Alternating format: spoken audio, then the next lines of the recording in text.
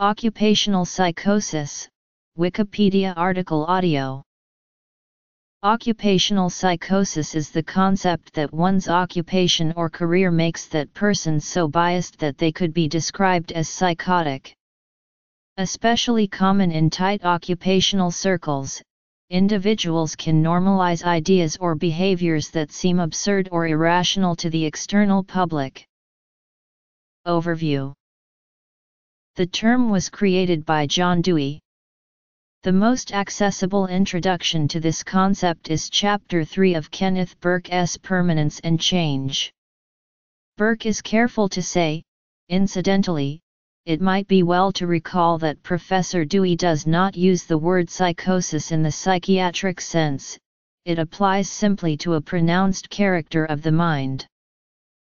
In fact, Robert K. Merton's notion of occupational psychosis is also important, the transition to a study of the negative aspects of bureaucracy is afforded by the application of Veblen's concept of trained incapacity, Dewey's notion of occupational psychosis or Warnotte's view of professional deformation. Trained incapacity refers to that state of affairs in which one's abilities function as inadequacies or blind spots.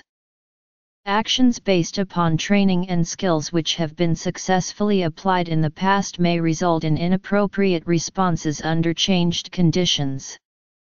An inadequate flexibility in the application of skills will, in a changing milieu, result in more or less serious maladjustments. Thus, to adopt a barnyard illustration used in this connection by Burke, chickens may be readily conditioned to interpret the sound of a bell as a signal for food. The same bell may now be used to summon the trained chickens to their doom as they are assembled to suffer decapitation.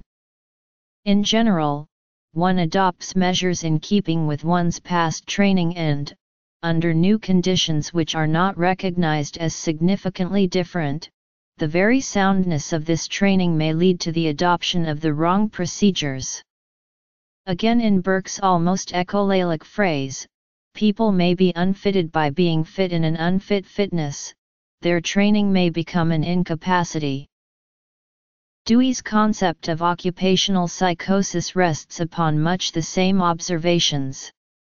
As a result of their day-to-day -day routines, people develop special preferences, antipathies, discriminations, and emphases. These psychoses develop through demands put upon the individual by the particular organization of his occupational role. The concepts of both Veblen and Dewey refer to a fundamental ambivalence. Any action can be considered in terms of what it attains or what it fails to attain.